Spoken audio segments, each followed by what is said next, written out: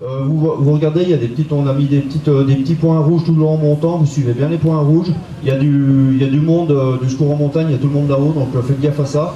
Euh, au niveau du, euh, du parcours lui-même, donc À euh, l'arrière de col classique, vous redescendez euh, sur un faux plat descendant pendant une petite euh, une vingtaine de minutes jusqu'au euh, jusqu'au prochain ravitaillement. Le prochain ravitaillement, après, c'est le signal. C'est le gros ravitaillement. où Vous avez déjà fait 30 km à ce, ce niveau-là. Bonne route à vous. À tout à l'heure.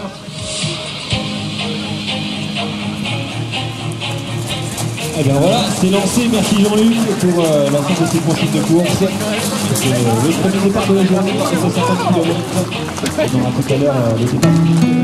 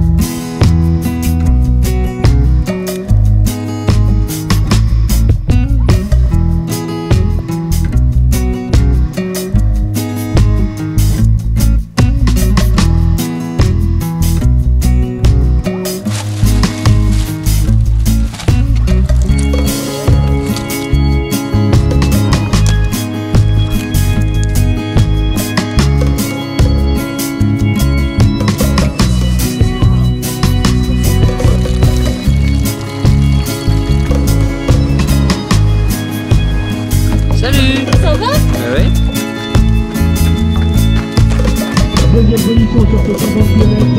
Bravo à tous les deux.